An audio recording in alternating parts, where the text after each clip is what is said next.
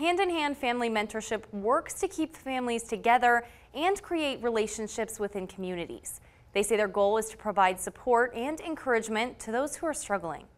Hand in Hand Family Mentorship started after foster mom Valerie McCauley formed relationships with biological parents and found out how they ended up in certain situations. There were certainly cases where the children had to be removed from the parents that it was a dangerous or risky situation for them to remain. But then we also had situations where the parents were very loving, very committed. They were struggling, but their heart was completely with their children.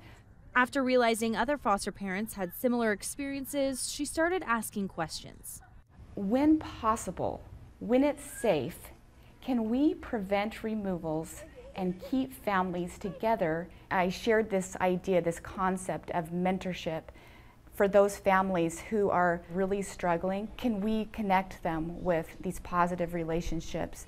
Since they started in 2019, the growing number of referrals and people using the services shows the impact of friendship and having someone in your life to help give positive direction. These mentors are volunteers. They care about what happens to people, and that goes a long way in helping someone find stability and feel anchored into a community.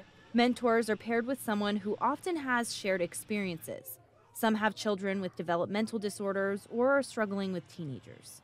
They need advice. They need people who have been down the road, who have had experiences, who knows what it's like to raise children. It's not easy, and they need that guidance. Hand in Hand makes sure people have access to different resources for financial questions, mental health help, and even organizational tips.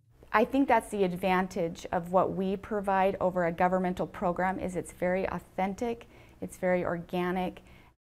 Although they started focused on families connected to the Department of Health and Welfare, their services are for anyone who's struggling and just needs a little bit of help.